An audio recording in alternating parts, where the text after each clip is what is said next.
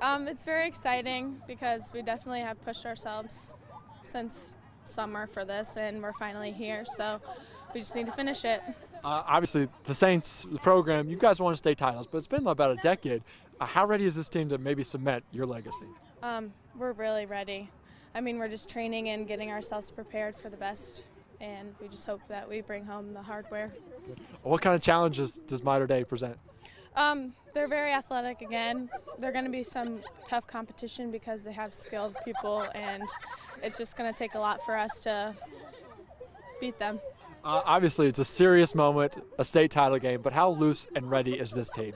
Oh, we're ready, and we're just excited because this is our year, and we just hope for the best, and we're working really hard for this, and we want to bring it home. Into Saturday, what do you guys need to do to get the job done? Um, we really just need to focus at practice and step up our game, really get in the mentality that like we're gonna win. Like we can't have any thought of losing. Uh, how much confidence can you take from a semi-state where you clinch it in PKs into the state title?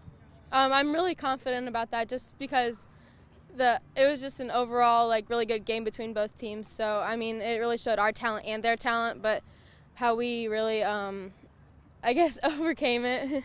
Okay. Uh, what kind of challenges does Mater Dei present? um, I heard uh, apparently they're like the exact same team as um, who did we play? um, as our semi-state match. So I mean, it, they're basically the same talent as us.